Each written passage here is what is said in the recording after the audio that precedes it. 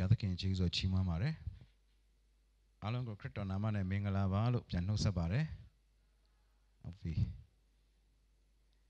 ကျွန်တော်တို့ဒီနေ့အတူတကွစင်ကျင်နှလုံးသွင်းဖို့အတွက်ရှင်လုကာခရစ်ဝင်အခန်းကြီး9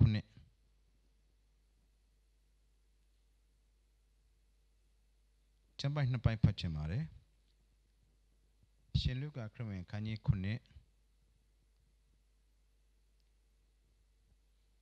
အပိုက်ငယ်17ကနေပြီးတော့မှ15အထိဖြစ်ပါတယ်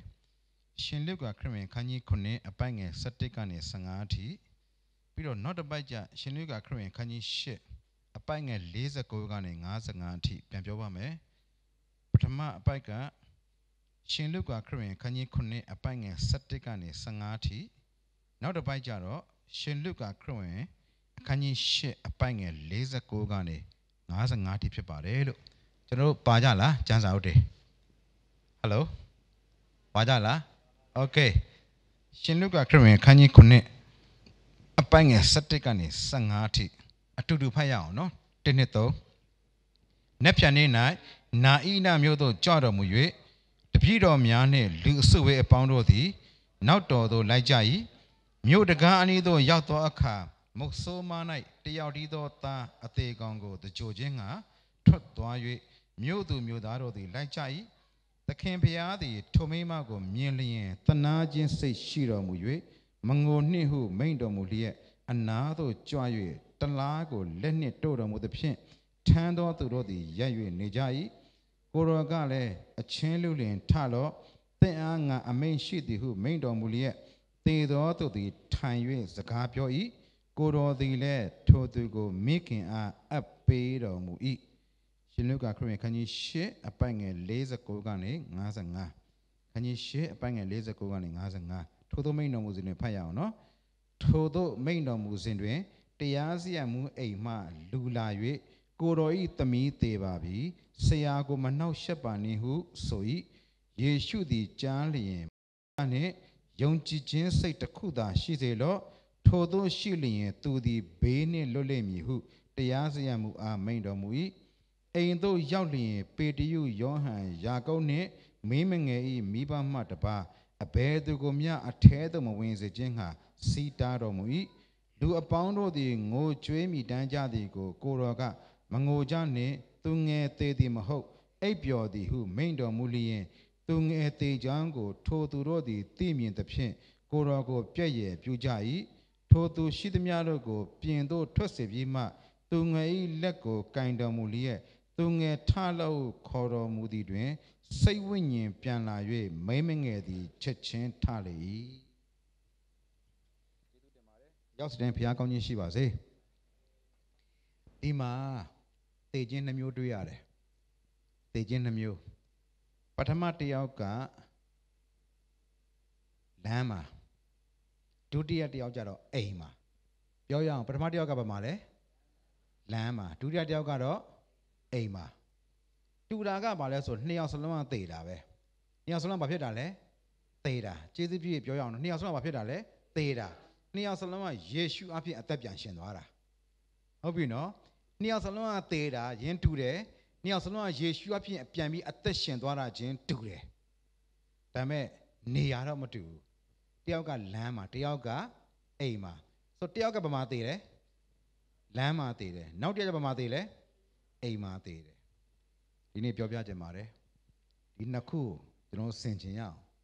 ကျွန်တော်ဒီနေ့လဲတရားပြီးသွားရင်နော်တနေရာကိုပြန်လက်ရအောင်ကျွန်တော်နောက်ထပ်နောက်ထပ်နှစ်နေရာကြံသေးတယ်ကျွန်တော်ပထမတနေရာကမနေ့ကစိတ်ကန်းသာလမ်းမှာအဲ့ရနေပြီးတော့မှ ဒီကိုပြေးလာတယ်ဒီကနေမှကျွန်တော်နောက်တက်တရနေရာပြန်စရုပ်ထနေရာမှာပွဲတော့ပါပေးရအောင်နော်ဒီနေ့ကတော့နည်းနည်းပြေးရအောင်ဆိုတော့အဲ့တော့ဒီကြစဉ်းစားရအောင်ဒီအခုဒီမှာကျွန်တော်ဖတ်သွားတဲ့အခါမှာလုကာခုနှစ်ကလမ်းကိစ္စဘယ်ဟာကိစ္စလဲလမ်းကိစ္စရှစ်ကြတော့အိမ်ဟာကိစ္စခုနှစ်ကဗမာသေးလဲရှစ်ကဗမာသေးလဲဒီနေ့ပြောပြခြင်းတယ်အဲ့တော့ပထမ တယောက်ကမုတ်ဆိုးမရဲ့သားလို့ပြောတယ်မုတ်ဆိုးမကျမ်းစာမှာမုတ်ဆိုးမလို့ပိုင်တော့စိတ်ချဒါ60နဲ့အထက်ဖြစ်တယ်60မကျော်ရင်မုတ်ဆိုးမတွေကကျမ်းစာမှာစည်ရင်မဝင်ပါဘူးမုတ်ဆိုးမလို့နာမည်တက်ချင်းမုတ်ဆိုးမလို့ခေါ်ခြင်းမခံရမှတ်တမ်းနေခြင်းမခံရဘူးနာမည်မရင်တော့မုတ်ဆိုးမလို့ပြောပြီးဆိုပြီးတော့တေးကြတယ်အသက်60နဲ့အထက်ဖြစ်ပါတယ်ဘယ်တော့ပဲယောက်ျားမရှိမနေပါစေနော်အာယောက်ျားတွေဆုံးပါသွားပါစေအသက်60မပြည့်ရင်မုတ်ဆိုးမဆိုပြီးမှတ်တမ်းနေခြင်းမရှိပါဘူးကျမ်းစာမှာဒါကြောင့်ဘုသုဒ္ဓပါ နော်မုတ်ဆိုးမဆိုလို့ကျမ်းစာထဲမှာပါရင်60နဲ့အထက်ဖြစ်တယ်လို့ကျွန်တော်သိဖို့ပါလို့နော်ဟုတ်ပြီအဲ့ဒီမုတ်ဆိုးမသူ့ရဲ့တယောက်တည်းရှိတဲ့သားလေးတည်သွားတယ်တဲ့။ဒါနဲ့အဲ့သားလေးကိုတကြိုဖို့အတွက်တကြိုဖို့အတွက်တင်းញိုင်းကိုသွားကြတယ်။သွားတဲ့လမ်းမှာလမ်းမှာ ဒီအမျိုးသမီးကကြည့်လို့ရှရင်လူချစ်လူခင်လဲနည်းနည်းတော်တော်ပေါ်မဲ့သဘောရှိတယ်။ဘာလို့မြို့သူမြို့သားတွေလိုက်ပို့ကြတယ်ဆိုတော့နည်းနည်းလူလူခင်တဲ့တော်တော်များတယ်။အဲ့တော့ သူတို့သွားတဲ့ခရီးစဉ်ကဒါချောင်းတန်ငွေဆောင်ခရီးစဉ်မဟုတ်ဘူးအပျော်ပဲသားခရီးစဉ်မဟုတ်ဘူးရေမောမောသွားတဲ့ခရီးစဉ်လည်းမဟုတ်ဘူးပေါ့ပွားခရီးစဉ်လည်းမဟုတ်အားလုံးကလေးပြီးတော့မှနော်မှိုင်တွေ့ပြီးသွားကြတာသူတို့ရဲ့ခရီးအဆောင်ကတင်ញိုင်းပဲသူတို့ခရီးအဆောင်ကဘာလဲဒါတင်ញိုင်းကိုတည်ပြီးသွားနေတာသူတို့လမ်းဆောင်ကတင်ញိုင်းပဲပျော်စရာမကောင်း ထိုင်းပြီးသွားကြတာအဲ့ဒီအချိန်မှာတဲ့သခင်ယေရှုကနဲ့တွေ့တယ်တွေ့တဲ့အခါမှာသခင်ယေရှုကကျမ်းစာမှာတလားလို့ပြောတလားဆိုတာပါလေသိလားဟယ်လိုတလားဆိုတာဘာကိုပြောရလဲသိလားတလားဆိုတာကလားရဲ့ကလားနဲ့ညီကိုပြောတာမဟုတ်ဘူးနော်တလားဆိုတာအခေါင်းပါလေအခေါင်းအခေါင်းနော်ဆိုတော့ကျွန်တော်တို့တောင်ပေါ်စကားဆိုတော့မီစီစင်ကွမ်လားနော် ဆိုတော့အဲ့တော့မတာတက်တာပေါ့ဟဲ့နော်ဆိုတော့အဲ့ဒီအခေါင်းအဲ့အခေါင်းထဲမှာအခေါင်းကိုလက်နဲ့တို့လိုက်တယ်သခင်ရှုကကင်လိုက်အဲ့ချိန်မှာအကုန်လုံးရပ်သွားကြရပ်သွားတော့ပြောမှနော်ကဲလို့လားသခင်ရှုရောက်မလာရင်သူတို့မရက်ဘူးဘယ်ကိုဆက်သွားနေမှာလဲဆက်သွားမှခရီးရပဲလေတင်ញိုင်း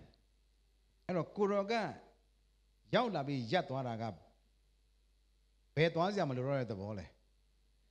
အဲဒါလေးတွေအရေးကြီးတယ်ကိုရောသားရောက်မလာခင်သူတို့လမ်းဆုံးကြီးကကြောက်စရာကြီးကိုရောသားရောက်မလာခင်မျောလင်းကျဲမဲ့တဲ့နေရာကြီးပဲသူတို့သွားနေမှာအဲ့ဒါကိုရောကအဲ့အခေါင်းထဲမှာရှိတဲ့အလောင်းကိုသူကကြည့်လိုက်ကဲကျွန်တော်အားလုံးသိပါတယ်ကျွန်တော်ကျွန်တော်ရဲ့ရှေ့မှာအတုပကားတွေသွားတာမမြင်ဘူးလားမြင်ဘူးလားမြင်ဘူးတယ်နော်ဘာသာပေါင်းစုံပေါ့ဘယ်ဘာသာဖြစ်အတုပကားတွေသွားကြတယ်ကျွန် တော်တောင်းမှဆိုရင်လည်းကားမရှိတဲ့နေရာလဲထမ်းပြီးသွားကြတယ်ကဲအတုပတစ်ခုဖြတ်သွားရင်ကျွန်တော်ဘာတွေးလဲစိတ်ထင်းကတွေးတယ်ဒီကောင်နံပါတ်4ထိုးတာများများသွားလားမသိဘူးအရင်ငယ်ငယ်လေးပဲရှိသေးတာရှိရတာဆေးပြားတွေတောက်တာများသွားတာထင်တယ်အရက်တောက်တာတော်တော်များသွားတယ်ထင်တယ်ကျွန်တော်ဝေဖန်စရာရှာလုံးလို့သေတဲ့လူတော့သွားဝေဖန်တာသွားဝေဖန်တာအဲ့တော့တော်သေးရပါဟိုကသူ့ထားထားပြီးပြန်မဆဲလို့နော်ဆိုတော့အဲ့တော့သူ့ကိုသွားဝေဖန်တာ ဘာကြောင့်လဲဘာကြောင့်လဲဘာကြောင့်လဲကျွန်တော်တို့ကသွားပြောတယ်ဘာကြောင့်သေရအဲ့တော့အရန်စိတ်ဝင်စားတယ်အဲ့သေတာနဲ့ပတ်သက်ဘာကြောင့်လဲဆိုတဲ့နေရာမှာပြစ်ရှာပြီးတော့ကိုလိုက်ပြောတာမသခင်ယေရှုကအဲ့ဒီအလောင်းကိုကြည့်ပြီးတော့မှမျိုးသူ့အမေမဟုတ်ဆိုးမကိုမင်းသားဆေးထိုးတာများသလားမပြောဘူးမနေ့ကညအလက်အရက်အလွန်ကျွံတောက်လိုက်တာလားမပြောဘူးပြောချင်တာဒီ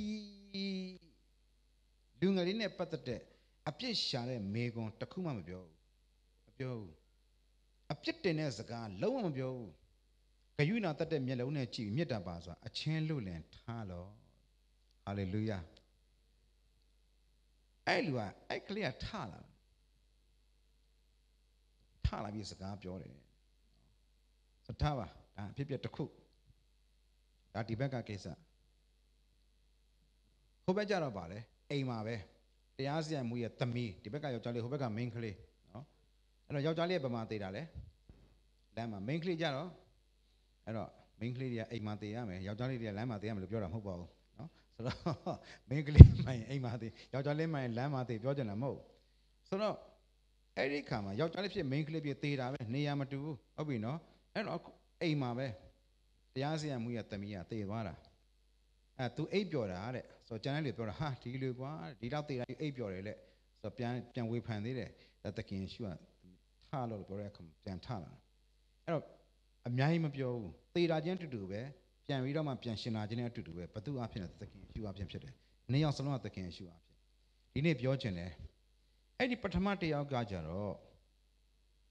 ခင်ယေရှုသာရောက်မလာရင်ခုနပြောပြီးပြီသူတို့ဘယ်သွားမှာလဲလမ်းဆုံးအသိဉာဏ်ခုတော့သခင်ရှုရောက်လာပြီးပြန်အသက်ရှင်သွားတဲ့အတွက်ယေရှုလည်းရောက်လဲရောက်လာသူတို့ပွဲကြီးပြတ်သွားတယ်ဘာပွဲပြတ်သွားတာလဲအတုပပွဲကြီးပြတ်သွားတာ သခင်ရှုလောကောက်လာတာဘာပွဲပြတ်ဖို့လဲသာဝရတရားမဲ့အတုပပွဲပြတ်ဖို့လာခဲ့တာဟာလေလုယာဆိုတော့အခုကြည့်ဒါဆိုရင်ပွဲပြတ်တာကောင်းလားပွဲပြတ်တာကောင်းလားဘာပွဲပြတ်တာကောင်းလဲအတုပပွဲပြတ်တာကောင်းတယ်ဟုတ်ပြီနော်အဲ့တော့အခုအခုပြောချင်တယ်တခင်ရှော့ရောက်လာတဲ့အခါမှာသူတို့ဆက်သွားစရာမလိုတော့ဘူးဒါဆိုမေးမယ် ယေရှုနဲ့မတွေ့ခင်အဲ့ဒီမှာသူတို့လမ်းမှာမကြုံခင်မှာသူတို့ဘယ်ရလာတာလဲအယိုးယိုးလေးပဲဘယ်ရလာလဲဟိုတရားလာတာမဟုတ်ဘူးဘယ်ရလာလဲအိမ်ကလာတာဒါဆိုသူတို့လာရင်အရက်ကဘယ်ရလဲဆိုအိမ်ကအခုလာရင်အရက်ကိုဘာဘာဖြစ်ဖို့ဖြစ်သွားပြီလဲပြန်ဖို့ဖြစ်သွားပြီတကယ်တော့ဆိုအိမ်ပြန်ရမယ်ဆိုလေအတိသူတို့ထဲမှာမရှိဘူးဒါသူတို့တော့တော့ပို့အောင်တော့ပို့မှာဒီကလေးကအဲ့ကိုရောက်အောင်ပါ ဒါပေမဲ့သခင်ရှုအဖြစ်လာရအရက်ကိုပြန်ပြီးတော့မှရောက်သွားကျွန်တော်ပြောကြပြောပြချင်ပါတယ်ကျွန်တော်အားလုံးရဲ့ပင်မအရက်ကဘယ်ရလဲဟယ်လိုကျွန်တော်အားလုံးဘယ်ရလဲဆိုတချို့ကကြီးမြင့်နိုင်ရတချို့ကတာမွေရဆိုတော့မဟုတ်ဘူးမှန်တယ်ဒါတော့ဒါတော့တက္ကနာပေါ့တကယ်တော့ကျွန်တော်အားလုံးရဲ့အရင်မြစ်ကဘယ်ရလဲဆိုတာအခုပြောပြအောင် လူကအသက်ရှင်လို့အစာစားလာလားအစာစားလို့အသက်ရှင်လာလားကျွန်တော်ကြားဘူးတဲ့ဒီမဲကွန်းပြောပါဘာဖြစ်လို့လဲလူကအသက်ရှင်လို့အစာစားလာလားအစာစားလို့အသက်ရှင်လာလားဟမ်ဘယ်နဲ့အစာစားလို့အသက်ရှင်ရမှာအစာစားပြီးတည်သွားတာပဲရှိနော်လူကအသက်ရှင်လို့အစာစားလားအစာစားလို့အသက်ရှင်လာလားအသက်ရှင်လို့အစာစားတာဒါအတိတ်ပြန်အစာနဲ့အသက်နဲ့ကဘယ်ဟာကအရေးကြီးတာလဲဘယ်ဟာကအရေးမကြီးဘူးလဲ အဲ့တော့ဒီနေ့အဆိုင်ဘာမှမစားတော့ဘူးဆိုတော့ဘယ်ဟာကပိုအရေးကြီးရလဲဆိုအသက်ကပိုအရေးကြီးတာလူကအစာစားလို့အသက်ရှင်တာမဟုတ်ဘူးနော်အသက်ရှင်လို့အစာစားဥပမာပြပြမယ်ဘုရားသခင်က ground of dust မြေမှုန့်ကိုယူလိုက်တယ်ပြီးရင် form တဒံလောက်လိုက်တယ်ဒါပေမဲ့အဲ့ဒီမြေကြီးရုပ်ကြီးထဲမှာမြေကြီးခဲကြီးထဲမှာမြေကြီးတုံးကြီးထဲမှာအသက်မရှိဘူးခံစားချက်မရှိဘူးဘာဘာ feeling မှမရှိဘူးအဲ့ဒီအယုတ်ကြီးကိုအာသုဘခေါ်လဲငုံမှာမဟုတ်ဘူးဟာတာကားထိုင်ပြလဲသူရည်မှာမဟုတ် ဒါဆိုအဲ့ဒီအယုတ်ကြီးကိုမြေကြီးရုပ်ကြီးကိုဘုရားသခင်ကမင်းထတော့ထမင်းထသားတော့မိမယူတော့သားမွေးတော့လို့ပြောလို့ရမလားရမလားမရဘာလို့နေရလဲဘာလို့ရလဲအဲ့ကြမှာဘုရားသခင်ဖူးဆိုတော့မှမှုတ်ထလိုက်တာအဲ့မှာဇီဝအသက်ကရောက်သွားတဲ့အခါကျမှလူကအသက်ရှင်တဲ့တတ္တဝါဖြစ်လာတာဒါဆိုဘုရားသခင်စီကလာတဲ့အသက်တာမရှိရင်လူကဘာပဲလဲဘာပဲလဲမြေကြီးပဲဘာမှလှုပ်ရှားမဘာခံစားတဲ့ဘာဘာမှကိုမဟုတ်တာ ရှင်းနော်ကဲဒါဆိုအဲ့အသက်ကဘယ်ဟာလာတာလဲပြောပါအစာနဲ့တဲ့နဲ့ဗျာရေးကြည့်လဲဘယ်ဟာကအရင်လဲအဲ့အသက်ကဘယ်ဟာလာလဲနောက်ဆုံးတဲ့တဲ့ပြောအဲ့အသက်ကဘသူကိုယ်တိုင်လဲဖျားကိုယ်တိုင်ဖြစ်တယ်ဖျားကိုယ်တိုင်အခုကျွန်တော်ကဖျားပေးတဲ့အသက်နဲ့အသက်ရှင်နေတာ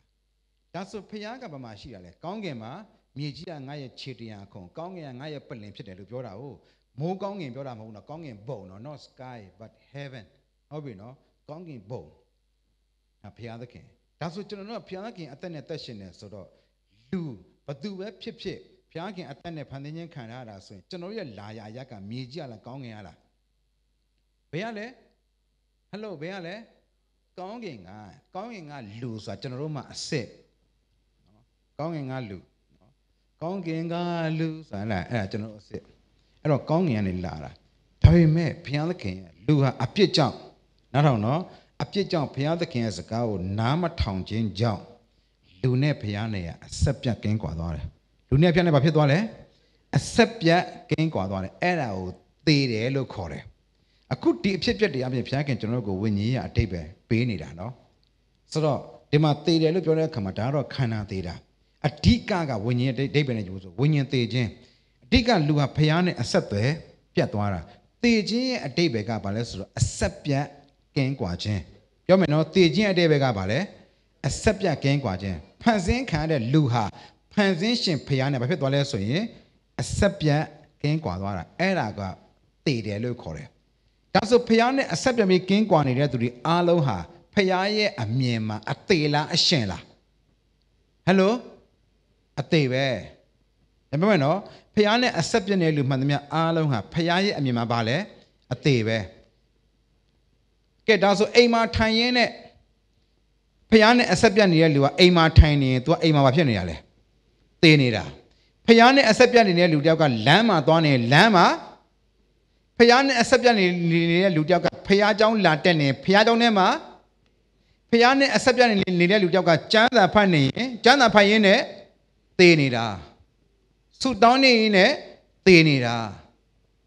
တော့တချို့ကဘာမှသေလဲလမ်းမှာသေတယ်တချို့ကဖះနဲ့အဆက်အသွယ်ပြတ်လမ်းပေါ်မှာတချို့အိမ်မှာနေနေဘယ်သူနဲ့ဆက်သွယ်ပြတ်လဲဖះနဲ့တချို့ကဖះเจ้าမှာရှင်ရင်းနဲ့ကိုဘယ်သူနဲ့ဆက်သွယ်ပြတ်နေလဲဖះเจ้าနဲ့အဆက်အသွယ်ရှိတာဖះနဲ့အဆက်အသွယ်မရှိဘူး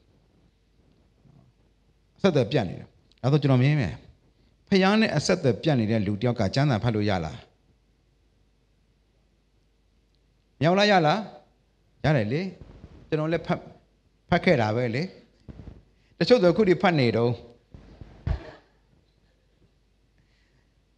ဟုတ်ပြီနော်ဖတ်နေတော့မတူဘူးနော်မတူဘူးအရေးကြီးတယ်အဲ့တော့ဖះနဲ့အဲ့ကြောင့်အိမ်တိမ်မှာသွားလိုက်တချို့ဆိုကျမ်းစာအရန်ဖတ်တယ်ဒါပေမဲ့ तू ကဖះနဲ့အဆက်အသွယ်ပြတ်နေတယ်ကဲတငင်းကိုသဘောမပေါက်သေးဘူးကျေးဇူးတော်နားမလဲသေးဘူးဆိုရင်အရှင်ဖတ်တာလားအသေးဖတ်တာလားအေး အိမ်တိမ်သွားလိုက်တော့ဆိုရင်အဲ့အဲ့အိမ်မှာရှိတဲ့တယောက်ကကောင်မလေးတယောက်ကျမ်းစာအရန်ဖတ်တာတကယ်ဖတ်တာသူစာဖတ်ကိုဝါဒနာပါတာကျမ်းစာလည်းအရန်ဖတ်တာကျွန်တော်မေးတယ်ဆရာတဲ့သူသူ့အမေကမေးတယ်ဆရာတရက်ကိုကျမ်းစာဘယ်နှခန်းဖတ်လဲကျွန်တော်၃ခန်းဖတ်တယ်ဟာကျမသမီးကအဲ့လောက်တော့တနာတယ်ဆရာဘယ်နှခန်းလဲအခန်းနဲ့ဆယ်ကျော်ဖတ်တာဆရာတို့ဒီနေ့ကျမ်းစာနဲ့ပတ်သက်ပြီးမသိတာရှင်ကျမသမီးကိုမေးလို့ရတယ်ဟာပြဿနာဟုတ်ပြီ အဲ့တော့ तू ကတော့ဘာလို့မပေါ့ तू အကောင်းဘက်ကနေ तू ကြွားတာပါနော်အကောင်းဘက်ကနေနော် तू သမီးဆိုတာမဟုတ်ဒါလေးလောက်တတ်တယ်ဆိုတော့ तू အဲ့လိုကြွားပြောတာပေါ့အဲ့တော့နောက်တစ်ဖွဲ့လဲသွား तू ဘာပြောလဲလားဒါပေမဲ့အဲ့ကလေးမဝမ်းနဲ့ဆက်ကောင်းတာကဲတင်ချင်းလုံးဝနားမလဲသေးဘူးသဘောမပေါက်ဘူးအခုတော့ပြောင်းလဲသွားပါပြီဆိုအဲ့တုန်းကသူ့မရပါပြောလဲဆိုဆရာအခုကျွန်တော်ခက်စကားရှိတယ်ကျန်းစာအရန်ဖတ်တယ်ဆိုဘယ်လိုပြောလဲသလားဆရာကျွန်မသမီးထင်တယ်နော်ကျန်းစာအသေးဖတ်တာမှန်တယ် အသေးကိုဖတ်တာတချို့အသေးသူတောင်းတာဖာရီရှဲအသေးအစာရှောင်းတာဘယ်တော့ပဲအစာရှောင်းတော့ဖះမြန်မာဘာကြီးပဲလဲဝမ်းနဲ့စရာကောင်းလားအဲ့တော့တနေ့ကျရင်သခင်ဖះနဲ့ဆိုတဲ့ခြေဆောင်ကြီးနေကြရင်ကျမ်းစာဘယ်လောက်ဖတ်တယ်ဆိုတဲ့အပေါ်မှာစုဘယ်လောက်တောင်းတယ်ဆိုတဲ့အပေါ်မှာဖះကခေါ်တော့မှာမဟုတ်လဲဆိုပါခရစ်တော်ဤဝိညာဉ်ကိုမရတော့သူမြည်သည်ကခရစ်တော်နဲ့မဆိုင် ကဲဒီမှာကြည့်ဆိုတော့ဝမ်းနဲ့စရာကောင်းတယ်တချို့တွေလမ်းမှာသွားရင်းနဲ့ကျမ်းစာကြီးကင်သွားတယ်လမ်းမှာဒါပေမဲ့ဖះနဲ့အဆက်မရရင်တော့သူဟာသိနေတဲ့လူပဲအဲ့တော့အခုဝิญဉ်ရနဲ့ပတ်သက်တဲ့အရာတွေနော်အဲ့ဆိုပါမတန်ရှင်းသောအရာတွေကတန်ရှင်းသောအရာအဘယ်သို့မျှမထွက်လာနိုင် အဲ့တော့မတန်ရှင်းတဲ့အရာတွေကနေတန်ရှင်းတဲ့အရာဘလို့မှမထွက်လာနိုင်ဘူး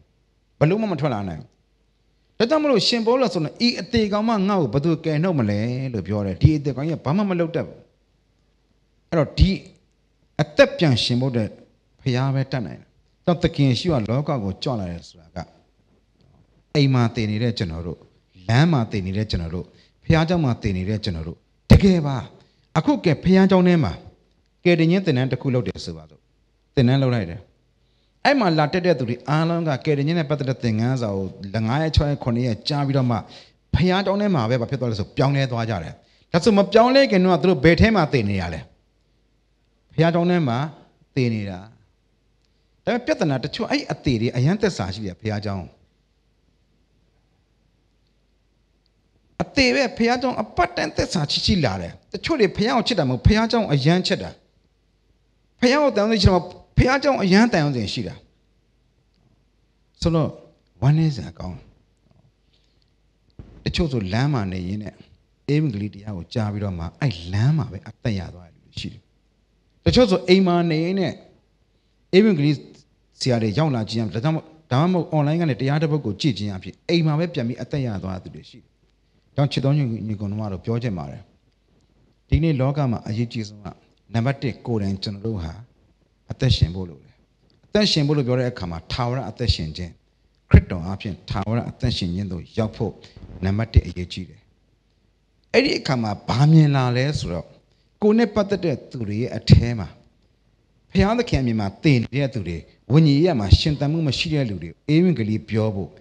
အဲ့ဒီအတွက်သူတို့အဓိကစွတ်တောင်းပေးဖို့။ကြောင့်ကျွန်တော်ပြောချင်တယ်လူတစ်ယောက်အတွက်လေ အရေးကြီးဆုံးကြားရမယ့်သတင်းစကားကအေဝံဂေလိစကားဖြစ်တယ်။အဲ့ဒီကျေးဇူးတော်ဖြစ်တဲ့ဘုရားသခင်ရဲ့မေတ္တာနဲ့အစပြုထားတဲ့လှုပ်ဆောင်နေတဲ့အေဝံဂေလိသတင်းစကားကိုမကြားရရင်လူတစ်ယောက်ကဘလို့မှပြောင်းလဲမှုဆိုတာမဖြစ်နိုင်ဘူး။ကျွန်တော်ဘာဖြစ်လို့ပြောင်းလဲတာလဲကျွန်တော်လာမေးကျွန်တော်အေဝံဂေလိတရားကြောင့်ပြောင်းလဲတာလူတစ်ယောက်ရဲ့ပြောင်းလဲခြင်းအမှန်ဟာအေဝံဂေလိတရားနဲ့ပဲဖြစ်တယ်။ဘုရားသခင်ကလူတစ်ယောက်ကိုခေါ်ရင် အေဝံဂေလိတရားနဲ့ပဲခေါ်တယ်။နံပါတ်1အေဝံဂေလိတရားနဲ့ပဲအရင်ခေါ်တယ်။တော့အေဝံဂေလိတရားကအတားရင်ကျွန်တော်တို့ကိုတကယ်ပြောင်းလဲစေနေတာ။တကယ်ဘုရားရဲ့အသက်ကိုရရှိစေတာ။အဲ့ဒီဘုရားရဲ့အသက်ကိုရရှိပြီးတဲ့ကျွန်တော်တို့ကရရှိပြီးတဲ့ကျွန်တော်တို့ကသူများကိုပြန်ပြောပြရမယ့်အရာလဲအဲ့ဒီအေဝံဂေလိတရားပဲဖြစ်တယ်။ဆိုတော့ဟုတ်ပြီ။ပြန်ပြောမှနော်ပထမတစ်ယောက်ကဘယ်ကနေတည်ပြီးရှင်းလာတာလဲ လမ်းကနေဒုတိယတစ်ယောက်ကြတော့အိမ်မှာကျွန်တော်တို့ကဗမာတည်နေကြတယ်တချို့ကကိုယ့်ကိုဗမာတည်လို့တည်မှန်းကိုမသိဘူးအဲ့တော့ဟိုတစ်ခေါက်ကလည်းပြောဦးတယ်ပြောင်းလဲမဲ့လူပြောင်းလဲသွားတဲ့လူတစ်ယောက်ကအရင်ဦးဆုံးသူပါတည်သွားတယ်လဲဆိုငါမပြောင်းလဲသေးဘူးဆိုတာတည်သွားတာတချို့ကကိုယ့်အကိုမပြောင်းလဲသေးဘူးဆိုတော့ကိုမသိဘူးပြဿနာပြောင်းလဲတယ်ပဲထင်နေကြတာတကယ်ပြောင်းလဲတဲ့သူတွေကသူတို့ကိုမေးကြည့်လိုက်တက်တက်ခံခံကြည့်လိုက် သူတို့အရင်ဦးဆုံးသိသွားတာဟာသူဟာမပြောင်းလဲသေးပါလားဆိုတာကိုသိသွားပြီးတော့မှတကယ်ပြောင်းလဲခြင်းကိုရောက်တာဒီသေခြင်းနှစ်ခုသလုံးကသေတာတူပေမဲ့နေရာမတူဘူးဘာမှမဖြစ်ဖြစ်သေတာပဲအတိတ်ပဲကအတိတ်ပဲကကဲပြန်ပြောမယ်တချို့ကအိမ်မှာသေတယ်တချို့ကဖြတ်တော့မှာသေတချို့ကလမ်းမှာသေတချို့ဗမာသေသေးလေပြောကြည့်ပါဦးအရက်ဆိုင်ထဲမှာတည်တဲ့လူရှိလားကဲကြော်ပြပါမယ် အရက်ဆိုင်ထဲမှာနေတဲ့အရက်ဆိုင်ထဲမှာနေပြီးတော့မှအရက်တော့ပြီးဖះနဲ့အဆက်ပြတ်နေတဲ့လူမရှိလားရှိလားဒါဆိုသူလည်းဖះအမြင်မှာသေတာပဲအိမ်မှာနေပုံမှန်ကျမ်းစာဖတ်ပြီးတော့သေနေတဲ့လူရောရှိလားဒါဆိုရင်ဖះနဲ့အဆက်ပြတ်တဲ့ကြောင့်အဲ့ဒီအိမ်မှာကျမ်းစာဖတ်နေတဲ့လူလည်းဖះအမြင်မှာသေတာပဲဖះနဲ့အဆက်ပြတ်နေတဲ့လူတယောက်အရက်ဆိုင်ထဲမှာအရက်တောင်းနေရင်လည်းဖះအမြင်မှာဒါဆိုအဲ့ဒီကျမ်းဖတ်ပြီးအိမ်မှာ တဲ့လူနဲ့အရက်တော့ကြီးအရက်ဆိုင်မှာတည်တဲ့လူနဲ့ဘသူကပိုတည်လဲဘသူကပိုတည်လဲပိုတည်တယ်တိတ်မတည်ဘူးဆိုတာရှိလားအဲ့တော့ကျမ်းစာကိုကန်တဲ့လူကတော့အရက်တော့တယ်မင်းကမင်းနဲ့ငါနဲ့တည်တာကြည့်တယ်ငါမင်းလောက်မတည်ဘူးမင်းကငါထက်ပိုတည်တယ်လို့ပြောလို့မရဘူး39မှတ်ရတဲ့လူကညသမားကငါကြတာချင်းတူပဲမင်းကငါထက်ပိုကြတယ်ငါမင်းလောက်မကြဘူးလို့ပြောလို့မရဘူးကြတာချင်းအတူတူပဲဒီကနေ့ပြောချင်ပါတယ်ဒါကြောင့်မို့လို့ သခင်အဲ့ဒီနေရာကနေကျွန်တော်တို့ကိုပြန်ပြီးအသက်ရှင်စေတယ်ဆိုတော့နားလည်ဖို့ဖြစ်တယ်နော်နားလည်ဖို့အဲ့တော့အဲ့တော့ကျွန်တော်မေးပြစေဒီမှာရှိတဲ့သူတွေအားလုံးကကိုယ့်အကိုသိပါလိမ့်မယ်ကဲဒီမှာရှိတဲ့လူအားလုံးကဖခင်ရဲ့အမြင်မှာတည်နေတဲ့လူလားအသက်ရှင်နေတဲ့သူလားလောလောဆယ်တော့အတန်နေတည်နေကြတယ်ဘာမှမထွက်လာဘူး ကဲဟုတ်ပြီလိုက်ဆိုအသက်ရှိသောသူတို့ပေါင်းတို့ထာဝရဘုရားကိုချီးမွမ်းကြတော့ဒါတော့ထာဝရဘုရားကိုချီးမွမ်းတဲ့လူကဘယ်သူကချီးမွမ်းတာလဲအသက်ရှင်တဲ့သူတွေအားလုံးကထာဝရဘုရားကိုချီးမွမ်းတာတနည်းအားဖြင့်ဘယ်သူတွေကချီးမွမ်းလို့မရဘူးလဲတည်တဲ့သူတွေကချီးမွမ်းလို့မရဘူးတီဆိုလို့တော့ရတယ်တီဆိုတာချီးမွမ်းတာမတူဘူးနော်တီဆိုတာလူတိုင်းလုပ်နိုင်တယ်ဘာသာတိုင်းလုပ်နိုင်တယ်တီဆိုတာဟုတ်ဒါပေမဲ့ချီးမွမ်းတာကြတော့အသက်ရှင်ခြင်းကနေပဲရတယ်လက်ဆိုတာငါတို့ဒီကို လိုက်တော်လန်းတို့ကိုစစ်ကြောစုံစမ်း၍ထာဝရဘုရားထံတော်သို့ပြန်သွားကြကုန်အံ့အခုကျွန်တော်တို့ကိုယ့်ကိုယ်ကိုစစ်ဆေးမယ်ပြီးရင်ဘသူဘက်ကိုပြန်လှည့်လာဖို့လဲဆိုရင်ဘုရားဘက်ကိုပြန်လှည့်လာဖို့ဖြစ်တယ်အခုဘလဝမ်းသာစရာကောင်းလဲဒီလူငယ်လေးရဖះနဲ့တွေ့ပြီးတဲ့အခါမှာဆက်သွားကြမလို့တော့လာရင်အရက်ကိုပြန်ရတာဒီကနေ့သခင်ရှုသောလောကကိုကြွမလာခဲ့ရင် ကျွန်တော်ဆက်သွားမဲ့နေရာကြီးထာဝရတည်ခြင်းကြီးအယမ်းကြောက်စရာကောင်းတယ်ဘာနဲ့မှအစားထိုးလို့မရဘူးထာဝရတည်ခြင်းကိုသွားနေရမှာထာထာဝရပူလောင်ခြင်းကိုရောက်ရမှာထာဝရဆုံးရှုံးခြင်းကိုရောက်ရမှာထာဝရပျက်စီးခြင်းကိုရောက်ရမှာဒါပေမဲ့အဲ့နေရာမှာအသက်ပေးပြီးချစ်တဲ့သခင်ရှုအားဖြင့်ကျွန်တော်တို့က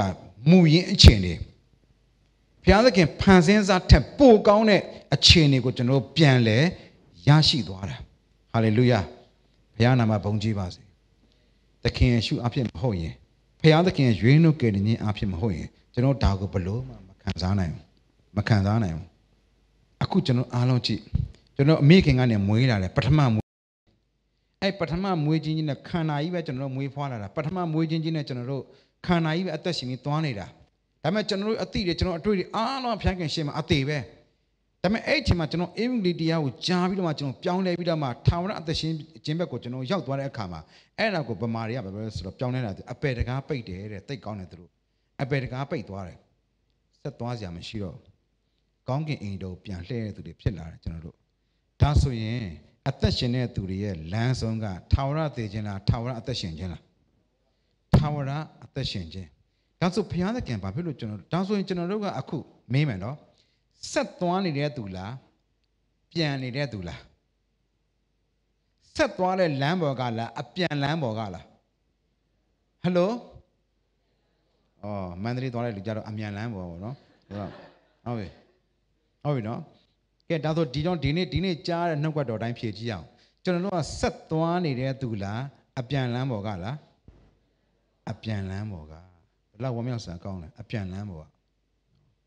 ဆက်သွားနေတာကမှိုင်တွေ့ပြီးတော့မှဘာမျောလင့်ခြင်းမှမရှိအပြန်လမ်းမှာဝမ်းမြောက်စွာနဲ့အခုကြည့်တော့ကျွန်တော်တို့ကအခုဘုရားကံခရစ်တော်ရပြီးတော့ကျွန်တော်တို့ကကယ်ငင်းစစ်ကြောင်းရရှိပြီမဲ့ကျွန်တော်တို့ကဆက်ပြီးအသက်ရှင်နေတယ်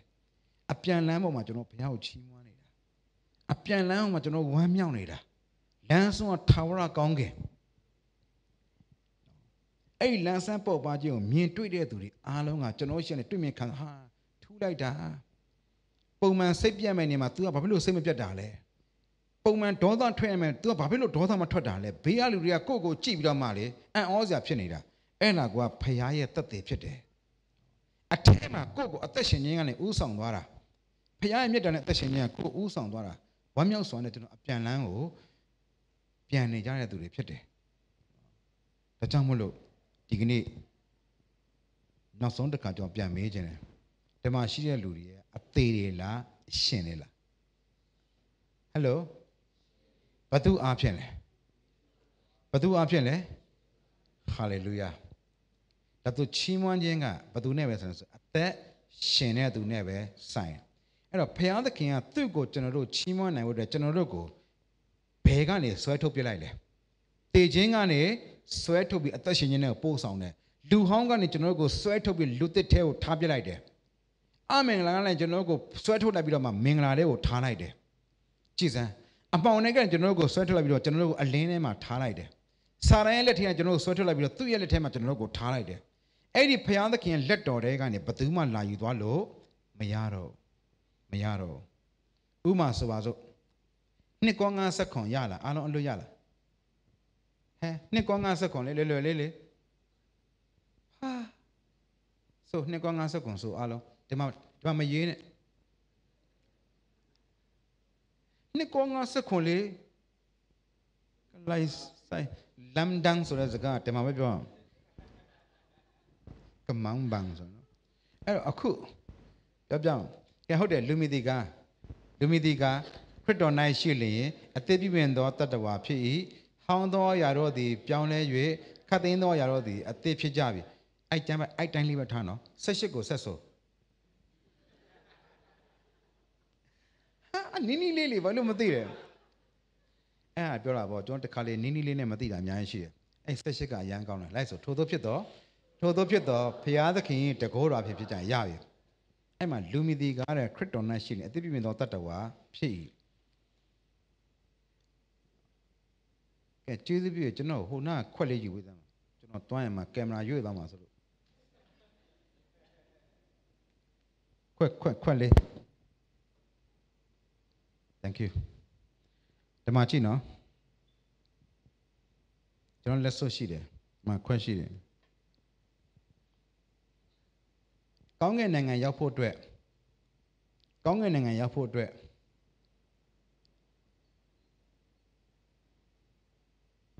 လူဆိုးဖြစ်ရမှာလားလူကောင်းဖြစ်ရမှာလားလူသစ်ဖြစ်ရမှာလားပြောပါ အရက်ပလင်းချပြီးအရက်ပလင်းချပြီးကျန်းစာကိုကင်လိုက်ရင်ဘာနေဘာဖြစ်သွားလဲဆိုလူဆိုးကနေလူကောင်းဖြစ်သွားတာအရက်ပလင်းကင်တော့ကဘာလဲလူဆိုးအရက်ပလင်းချပြီးကျန်းစာကိုကင်ရင်တော့လူကောင်းဖြစ်သွားအောင်အဲ့တော့အရက်ပလင်းကင်တော့ကလည်းအဲ့လူကလူဟောင်းပဲအရက်ပလင်းချပြီးကျန်းစာကိုကင်ရင်တော့လည်းအဲ့လူကဘာပဲလဲလူဟောင်းကလူဟောင်းပဲလူဟောင်းပဲအရက်ပလင်းကင်တော့ကတော့အဟောင်းတွေကအဆိုးပေါ့ကျန်းစာကိုကင်လိုက်တော့ အဟောင်းတွေကအကောင်တစ်ထောင်မို့သုံးတယ်ဆိုအဲ့ဒါကိုပြောတာဟုတ်ပြီနော်အဟောင်းတွေကအကောင်အဲ့တော့အရက်ပလင်းကင်တော့ကလည်း तू ကလူဟောင်းပဲကျန်းစာကိုကင်တော့လည်း तू ကလူဟောင်းပဲအဲ့တော့ तू ကသူ့ရဲ့လောက်ရက်ပဲပြောင်းသွားတာဖြစ်ရမပြောင်းသွားဘူးလောက်ရက်ကြီးကလောက်ရက်ပဲပြောင်းသွားအရက်ပလင်းတောင်းရကနေအရက်ပလင်းကင်ကနေကျန်းစာကနေလောက်ရက်ပဲပြောင်းသွားတာဖြစ်ရကတာပဲလူဟောင်းကလူဟောင်းပဲအဲ့တော့ကေတင်းရတဲ့ဆိုကလောက်ရက်ပြောင်းတာလားဖြစ်ရပြောင်းတာလားအဲ့တော့ကေတင်းရဆိုတာလူဆိုးကနေလူကောင်းဖြစ်သွားတာပြောတာမဟုတ်ဘူး လူဆိုးကနေလူကောင်းဖြစ်တဲ့လူကအချိန်မြဲလူကောင်းကနေလူဆိုးပြန်ဖြစ်အောင်ပါပဲများသောဖြစ်တော့တနင်္ဂနွေနေ့ကျတော့လူကောင်းဖြစ်လာလာလောက်ကြတယ်လေဖះကြောင့်ပြန်လာပြီးစနေနေ့ညထီကဒီဘက်ပြန်သွားပြန်ရောတခါလေတရက်ထဲနဲ့ခုနှစ်ခါလောက်ပြောင်းတယ်ဟိုဘက်ဒီဘက်ကိုတက်လဲတက်နိုင်လို့နဲ့အဲ့ဒါကြီးနေမဲ့ရွာလဲနေတာကဲကျွန်တော်မေးမယ်အဲ့ဒီလူဆိုးနဲ့လူကောင်းနှစ်ယောက်စလုံးကဘာဖြစ်တာချင်းအတူတူပဲလေလူဟောင်းဖြစ်တာချင်းအတူတူပဲအရက်တောက်နေတဲ့လူဟောင်းကျန်းသာဖတ်နေတဲ့လူဟောင်း လူဟောင်းဖြစ်နေအရက်တောက်တယ်လူဟောင်းဖြစ်နေကျန်းသာဖတ်တယ်အဲ့ဒီနှစ်ယောက်စလုံးကတနေ့ကြာမှာဖြစ်မှာပဲလေတေမှာပဲသူတို့တေတာကအရက်တောက်လို့တေရလားကျန်းသာဖတ်လို့တေရလားအပြစ်ရှိလို့တေရလားဒါတောင်မလို့အပြစ်ရှိနေတဲ့လူကလူဟောင်းပဲလေဒါဆိုသူတို့တေတာကလုံရကြောင့်တေတာလားဖြစ်ရကြောင့်တေတာလားဒါပဲလောက်ရကောင်းရင်လည်းဖြစ်ရမှားရင်တေမှာပဲဒါဆိုသူတို့မှားနေတာလောက်ရမှားနေလားဖြစ်ရမှားနေလားဒါဆိုတကယ်ပြောင်းရမှာလောက်ရပြောင်းရမှာလားဖြစ်ရပြောင်းရမှာလား လူကကိုယ့်ရဲ့လောက်ရကိုပြောင်းလို့ရတယ်အရက်ပလင်းချပြီးကျန်းသောကင်လို့ရတယ်ဘင်းရှူတာကနေမရှူတော့ဘဲနဲ့ဆွတ်တောင်းလို့ရတယ်ဟုတ်ပြီနော်ဒါပေမဲ့ဘင်းရှူတော့ကလည်းလူဟောင်းပဲဆွတ်တောင်းတော့လည်းအဲ့တော့မိဘတွေကမသိဘူးမလေးငါသမီးလေးပြောင်းလဲပြီငါသားလေးပြောင်းလဲပြီလိန်စားလို့တော့ကောင်းသေးတယ်ပို့ပြီးတော့အရက်တော့မုံဘိုးမရောက်လေကျန်းသောကင်မုံဘိုးရတာလေဒါပေမဲ့ဒီဘက်တုန်းကလူဟောင်းပဲဒီဘက်လည်းအဲ့တော့အဲ့ဒါကိုမသိတဲ့အမေလည်းလူဟောင်းပဲအဲ့တော့လူဟောင်းသားအမိပေါ့လေသူနော်ဆိုတော့ အဲ့တော့အဲ့တော့မင်းမြဖျားသခင်ကလူစိုးနဲ့လူကောင်းဘယ်သူ့ကိုတုံးလို့ရလဲလူစိုးနဲ့လူကောင်းနှစ်ယောက်ဘယ်သူ့ကိုတုံးလို့ရလဲနှစ်ယောက်ထဲမှာဘယ်သူ့ကိုတုံးလို့ရလဲဟမ်လူစိုးကိုတုံးလို့ရတယ်ဒါဆိုရင်ကျွန်တော်တို့ကဘုရားခင်သုံးဖို့အတွက်ဒီနေ့ကစပြီးစိုးကြပါစို့ဆိုတော့လည်းမဟုတ်ပြန်ဘူးကောင်းလို့သုံးတာလည်းမဟုတ်ဘူးမှတ်ထားပါလိုက်ဆိုလူအပေါင်းတို့သည်လမ်းလွဲကြပြီတညီတညွတ်သည် အသုံးမရတော့သူဖြစ်ကြပြီမှတ်ထားပါတရားမှသုံးလို့မရအရက်တောက်တဲ့လူတွေပြန်သုံးလို့မရကျန်းစာဖတ်တဲ့လူတွေသုံးလို့မရဘူးမရတာလောက်ရကြောင်သုံးလို့မရလားဖြစ်ကြောင်သုံးလို့မရလားအေးတကယ်တကယ်ပြောရမှာပါလေလူဆိုးကနေလူကောင်းဖြစ်ရမှာလားလူဟောင်းကနေလူသစ်ဖြစ်ရမှာလားကျွန်တော်ပြောပြမယ်လူဆိုးကနေလူကောင်းဖြစ်သွားတာဟာလောက်ရပြောင်းတာမိမိကိုယ်ကိုကောင်းအောင်စူးစမ်းမယ်မိမိအတန်းကိုကောင်းမိမိကြောင်းမိမိတိုက်ပြီးတော့ကောင်းအောင်စူးစမ်းတယ်လူတွေကဘာဖြစ်အောင်မစူးစမ်းလဲ ကောင်းအောင်မကြိုးစားတယ်ကောင်းအောင်မသွန်သင်ကြတယ်အစ်စ်ကိုနားမလဲကြဘူးအပြတ်ပြောင်းမဲ့ကောင်းကင်နိုင်ငံလို့ဆိုလူဆိုးရောက်မဲ့နေရာလည်းမဟုတ်ဘူးလူကောင်းရောက်မဲ့နေရာလည်းမဟုတ်ဘူးခရစ်တော်၌အသက်ရှင်တဲ့လူသစ်တွေရောက်မဲ့နေရာပဲဖြစ်တယ်ဟုတ်ပြီနော်နားလည်ပြီနော်အဲဆိုကျွန်တော်ကောင်းအောင်မလားသိရမှာလားအဲ့တော့ခုနပြောပြီးသစ္စာတိတ်တဲ့လေ့ကျင့်မိမိကိုယ်ကောင်းမိမိအတန်းမိမိကြောင်းမိမိတိုက်ပြီးအတွက်ကောင်းအောင်ကြိုးစားတယ်ဘာဖြစ်အောင်ကြိုးစားလဲကောင်းဖို့ကြိုးစားတယ်နောက်ဆုံးကြကောင်းသွားလားဆိုးသွားလား ဆိုးဖို့ကြိုးစားနေဆိုးသွားလားကောင်းဖို့ကြိုးစားနေကိုဆိုးသွားလားအဲတနေ့မှာသချင်းတစ်ပုဒ်ရှိတယ်တဲ့ကောင်းကင်ရွှေပြည်တော်ရောက်သည်ထီကျွန်ုပ်ဆိုအမှန်ကောင်းကင်အသွေးတော်ချင်းကောင်းကင်ရွှေပြည်တော်ရောက်တဲ့အထိကျွန်ုပ်ဆိုမိအမှန်ကတန်စင်ကစာသားဆိုမိတန်စင်ရတာဘာဖြစ်သွားလဲစိုးမိဖြစ်သွားကောင်းကင်ရွှေပြည်တော်ရောက်တဲ့ကျွန်ုပ်စိုးမိဟာတော်ပြီငါကောင်းကင်မတိုက်တော့ဘူးခရိယန်တွေကဟိုထီတောင်လက်ဆက်ဦးမှာလက် တချို့သချင်းတွေကစာသားမမြင်ရမကောင်းဘူးတကယ်စာသားတွေ့ရမှာကောင်းတာဖယားပိုင်းတော့ဆိုဟာဒီဖယားဘာနဲ့ပိုင်းတာလဲမသိဘူးဒုက္ခပဲအာတော်တော်ငါဒီဘာသာတော့ဝင်လုံးမဖြစ်တော့ဘူးပိုင်းနေဖယားပိုင်းနေကြံကြောင်းတားနေလားတယောက်တားနေလားမသိဘူးပိုင်းတာဖယားပိုင်းတော့အမှန်ဖယားပိုင်တော့စာသားတာမတွေ့ရင်ပိုင်းတော့ဖြစ်သွားရောအစိုးစွာကိုးတော်လံပြမိ မကိုတော့လမ်းပြမည်အဲကြောင့်မသိတဲ့လူတွေရှိရင်စာသားလေးဒါကြောင့် projector မှာစာသားတင်တာအရန်ကောင်းတယ်အဲ့ပြဿနာမရှိဘူးဘာစာသားမှမတွေ့ရရင်တော့ခက်ကြောအဲ့ဒါတွေတော်တော်ခက်တယ်နော်ဒါကြောင့်မလို့ဒီနေ့ပြောချင်တယ်အဲ့တော့ကောင်းကင်နိုင်ငံတော်ဆိုပြောမယ်နော်လူဆိုးရောက်မဲ့နေရလားလူကောင်းရောက်မဲ့နေရလားတယောက်မှဘယ်သူပဲရောက်မှာလဲလူတစ်ဘယ်သူနဲ့ရှိရလူတစ်လဲဖျားပေးတဲ့အသက်ကိုရတဲ့လူတစ်ကျွန်တော်ပြောမယ်အဲ့ဆိုလူမီဒီကခရစ်တော်၌ရှိလင်အ သိပညာတတ်တော်ဖြစ်အဲ့တော့လူကခရစ်တော်မှာရှိရင်လူတစ်ဖြစ်တယ်ဒါပဲအဲ့တော့မင်းမယ်နော်ကောင်းငင်နိုင်ငံတော်ရောက်ဖို့အတွက်ကျွန်တော်ဘာဖြစ်ရမလဲလူကောင်းဖြစ်ရမလားလူတစ်ဖြစ်ရမလားလူတစ်ဖြစ်ရလူတစ်မဖြစ်ရင်ပဲဘယ်မရောက်ဘူးလဲအဲ့တော့မင်းမယ်လူတစ်ဖြစ်အောင်ဘာလုပ်အောင်ဘာလုပ်အောင်မလဲလို့လူတစ်ဖြစ်အောင်ကျွန်တော်ဘာလုပ်အောင်အခုကျွန်တော်ပြဿနာအဲ့ဒါ ဘာလုပ်ရမလဲလို့အမေးခံလိုက်ရင်ငါဘာလုပ်နိုင်မလဲမသိဘူးစဉ်းစားတယ်တကယ်တော့ဘာလုပ်နိုင်လဲအေးဘာမှမလုပ်နိုင်တော့ဘာကိစ္စစဉ်းစားနေရတော့တန်တုံးယူရေညစ်နေတာထွက်မယ်အားကြီးကြီးရေကတော့ကြတော့ကြစွညစ်နေအပေါ်နဲ့ရှာတန်သွေးတွေထွက်လာမှာနော်အဲ့တော့အဲ့တော့အခုအခုစဉ်းစားမယ် ဒါဆိုရင်ဘာလို့ရမလဲလို့အမေကွန်းအမေခံလိုက်တယ်အဖြေမှန်တစ်ခုပဲကျွန်တော်ကျွန်မဘာမှမလုပ်နိုင်ဘူးဒါပဲဘာလည်းမလုပ်နိုင်တော့ရှော့စဉ်းစားတယ်ဘာမှလည်းမလုပ်နိုင်ဘူးစဉ်းတော့စဉ်းစားနိုင်တယ်နော်ကဲဟုတ်ပြီဒါဆိုမင်းမယ်ကောင်းကင်နိုင်ငံတော်ရဲ့ချိန်ဘာဖြစ်ရမလဲလူသေးဖြစ်ရမယ်အဲ့လူသေးဖြစ်အောင်ဘာလုပ်ရမလဲကျွန်တော်တို့ဘာမှ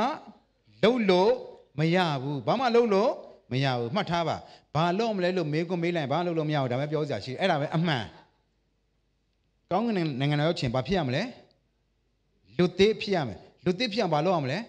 ဘာမှလုပ်လို့မရဘူးဒါပေမဲ့အဲ့နှစ်ကောင်းငါဆက်ခွန်ရဘယ်သူနိုင်ရှိရမလဲခရစ်တော်နိုင်ရှိမှလူသေးဖြစ်မှာလူသေးဖြစ်မှာကောင်းကင်ရောက်မှာဟုတ်ပြီနော်ဒါဆိုလူသေးဖြစ်အောင်ဘာလုပ်ရမလဲမဟုတ်ဘာလုပ်ရမလဲဘယ်သူနိုင်ရှိရမလဲဒါဆိုခရစ်တော်နိုင်ရှိအောင်ဘာလုပ်ရမလဲဟောစဉ်းစားပြန်ပြီကြည့်ခရစ်တော်နိုင်ရှိအောင်ဘာလုပ်ရမလဲလို့ ဘာမှလုံးလို့မရဘူးအောင်မလေးဟဲ့ကောင်းကင်ရောက်ချင်ဘာဖြစ်ရမလဲလူသစ်ဖြစ်ရမယ်လူသစ်ဖြစ်အောင်ဘာလုပ်ရမလဲဘယ်သူနိုင်ရှိရမလဲဒါဆိုခရစ်တော်နိုင်ရှိမှဘာဖြစ်မှာလဲလူသစ်ဖြစ်မှာဒါဆိုခရစ်တော်နိုင်ရှိဖို့လိုပြီလေဒါဆိုခရစ်တော်နိုင်ရှိအောင်ဘာလုပ်ရမလဲဘာမှလုံးလို့ဒါဆိုကျွန်တော်ဘက်ကလည်းလူလူသစ်ဖြစ်နိုင်ကြနီးလန်းရှိသေးလားနည်းနည်းမှကိုမနီးဆက်ဘူးဘလုံးမမဖြစ်နိုင်ဘူးတေချာမှတ်ထားနော်အရန်အရေးကြီးတယ်အဲ့ဒီချက်က တစ်ကောကောရိန္သု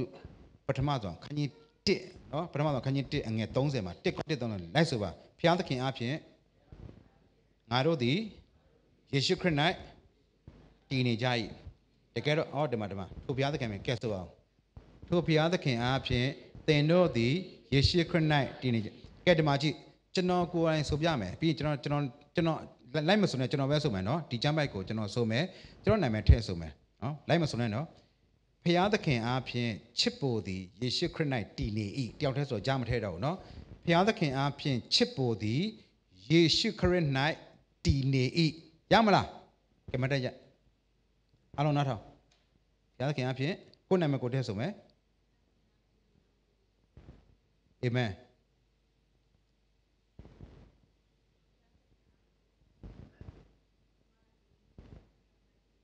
သူ့နာမည်မတ်ကျမเนาะ ဟုတ်ပြီကဲတော့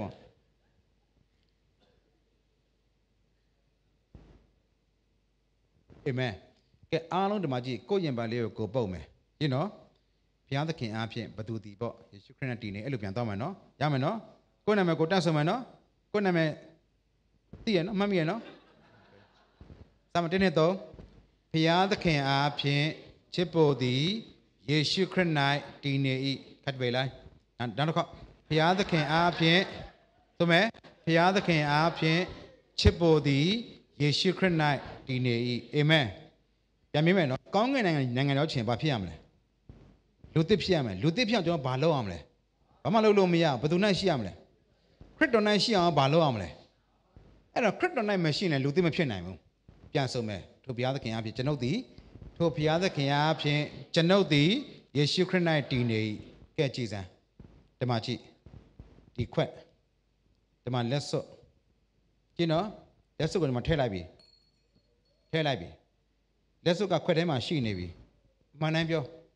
တစ်လုံးမပြောအဲ့လက်စွပ်ကခွက်ထဲကိုရောက်တာလားသွားတာလားရောက်တာလားသွားတာလားဒါဆိုမင်းမယ်အဲ့လက်စွပ်ကခွက်ထဲကိုသွားနိုင်လားသွားနိုင်လားရောက်နိုင်လားရောက်နိုင်တယ်ရောက်နိုင်လို့ရှိနေတာလေဟုတ်ပြီနော် သွားနိုင်လားရောက်နိုင်လားဘလောက်ပဲသူ့ကိုကြိုးစားပြီးသွားခံသွားခံရလားဓမ္မကြည့်ဒီလက်စွပ်ကသူ့ဟာသူဆိုရင်ဘလို့မှဒီခွက်ထဲမှာရှိမနေနိုင်ဘူးဘလို့မှမဖြစ်နိုင်ဘူးဒါပေမဲ့ဒီစုံတယောက်ကယူပြီးထည့်လိုက်တဲ့အခါမှာအဲ့ထဲမှာရှိသွားတယ်ဟုတ်ပြီနော်ဒါဆိုခွက်ကသွားနိုင်အဲလက်စွပ်ကခွက်ထဲကိုသွားနိုင်လားရောက်နိုင်လားအဲ့လိုရောက်နိုင်တာရောက်နေတာဟာသူ့ကြောင့်လားဒီစုံတယောက်ကြောင့်လား ရှင်းပြီလားမသိဘူးမကြည့်ဒါကကျွန်ုပ်ကျွန်ုပ်လိုပဲပြောရမယ်နော်ဒါကဘာတူလဲကျွန်တော်ဆိုအားလုံးပါပါပြီကျွန်ုပ်ဘုရားသခင်ကသင်နဲ့ကျွန်ုပ်ကိုယူပြီးတော့ဒီခွက်ကယေရှုခရစ်သင်နဲ့ကျွန်ုပ်ကိုယူယူပြီးဘသူထဲထည့်လိုက်လဲယေရှုခရစ်ထဲကိုထည့်လိုက်တယ်အဲ့ဒါတစ်ကော130အဲ့ဒီကြံချက်ကအဲ့ဒါကိုတရားဝင်ချင်းညာထားတာအဲ့ဒါလိန်နေတာမဟုတ်ထာဝရကာလအတ္တိဖြစ်တယ်အဲ့ကြံဘက်ကဟာလေလုယာ ဒါဆိုဘုရားကသင်နဲ့ကျွန်ုပ်ကိုယူပြီးဘသူထဲကိုထည့်လိုက်တယ်ဒါဆိုသင်နဲ့ကျွန်ုပ်ကအခုပဲထဲမှာလဲဘသူထဲမှာလဲကျွန်တော်ကျမဟာယေရှုခရစ်ထဲမှာဘုရားသခင်ကျွန်တော်ကျမဘလို့မှယေရှုခရစ်ထဲကိုရောက်အောင်မသွားနိုင်ပါဘူးကျွန်တော်ကျမသွားနိုင်တဲ့အချင်းလည်းမရှိဘူးဘုရားသခင်ကမထည့်ရင်ဘလို့မှမဖြစ်နိုင်ပါဘူးအခုဘုရားသခင်ကကျွန်တော်ကျမကိုယေရှုခရစ်ထဲကိုထည့်ပေးလိုက်လို့ထည့်ပေးပြီးပြီဖြစ်လို့ကျွန်တော်ကျမကအခုယေရှုခရစ်ထဲမှာယေရှုခရစ်နဲ့အတူဖြစ်ပါတယ်ဆိုရင်လက်ထောင်ရအောင်